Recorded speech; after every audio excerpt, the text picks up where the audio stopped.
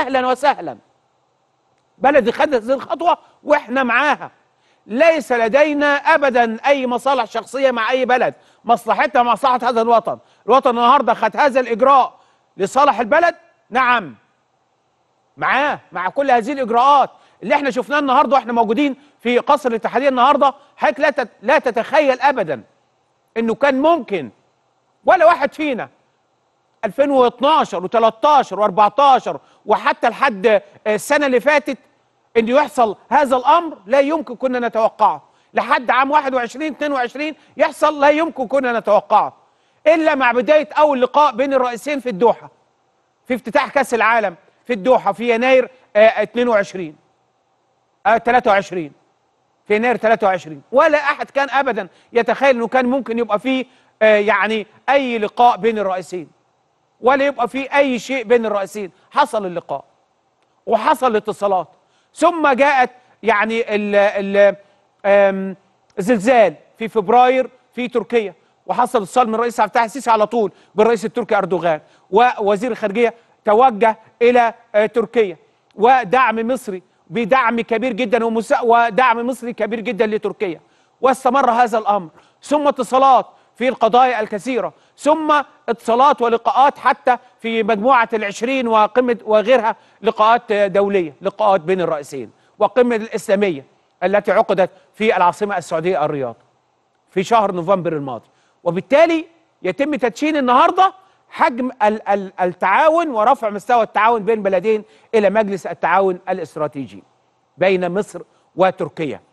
تركيا يتم كمان تم الاتفاق النهارده بين السيد الرئيس عبد الفتاح السيسي والرئيس التركي أردوغان على رفع مستوى التبادل التجاري بين البلدين إلى 15 مليار دولار في فترة قريبة. من الأخبار الإيجابية المهمة كمان اللي أنا قلتها امبارح وتم تأكيدها النهارده من الرئيس أردوغان إنه هيكون في منطقة صناعية تركية في مصر.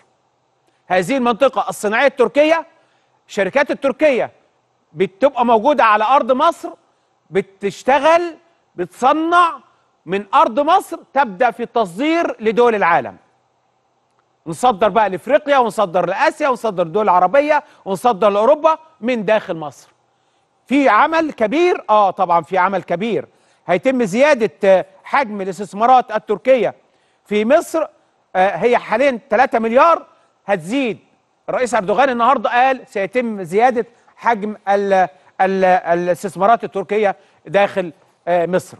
الرئيس التركي أردوغان النهارده اتكلم أيضا على ال- ال- المستوى العلاقات واتكلم كمان على العلاقة مع السيد الرئيس عبد الفتاح السيسي وحجم هذه العلاقة وقال إن هو سعيد جدا ان هو موجود في القاهرة ويعود إليها مرة أخرى بعد فترة طويلة. الرئيس أردوغان زار مصر مرتين 2011 2011 كان رئيس الوزراء وأيضا 2012 كان رئيسا للوزراء. أول مرة يأتي الرئيس أردوغان وهو رئيس لتركيا. المرات اللي زار فيها مصر في 2011 بعد أحداث وفوضى 2011 ثم بعد آه، وأثناء حكم الإخوان في 2012 جه قابل محمد مرسي ولكن وقتها كان رئيسا للوزراء النهارده هو رئيس تركيا وتركيا كان وقتها رئيس الوزراء هو الأقوى غيروا النظام بقى نظام رئاسي فبقى هو النهارده رئيس تركيا هو الرئيس وبالتالي النهارده شراكة كبيرة جدا بين البلدين مصر وتركيا.